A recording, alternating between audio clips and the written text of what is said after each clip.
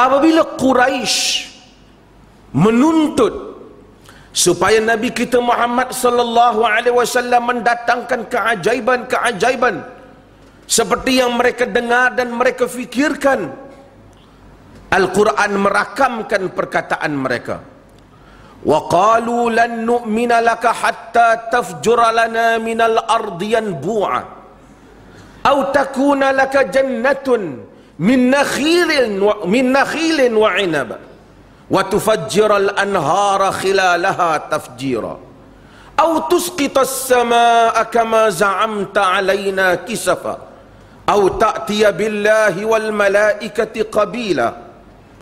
أو يكون لك بيت من زخرف. أو ترقى في السماء. ولن نؤمن لرقيك حتى تنزل علينا كتابا نقرأ Qul subhana rabbi hal kuntu illa basyarar rasulah mereka itu berkata kami tidak akan beriman sehinggalah sehinggalah engkau itu menerbitkan di tengah-tengah Mekah ini sungai dan mata air. Ataupun bagi kamu itu kebun-kebun kurma dan anggur yang engkau pancarkan di tengah-tengahnya mata air ataupun ataupun engkau menjadi engkau menurunkan menimpakan langit itu jatuh di atas kepala kami berkeping-keping.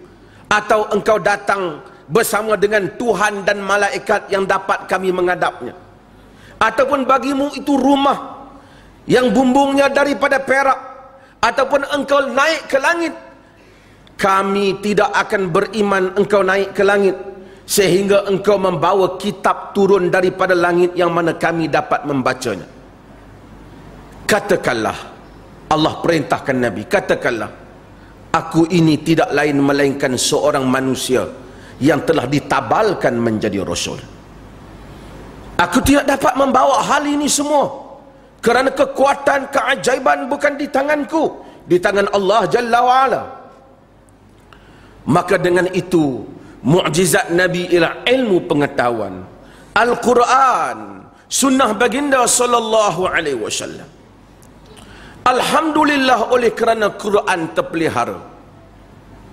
Cumanya yang menjadi masalah ialah kepada bagaimana menafsirkan Quran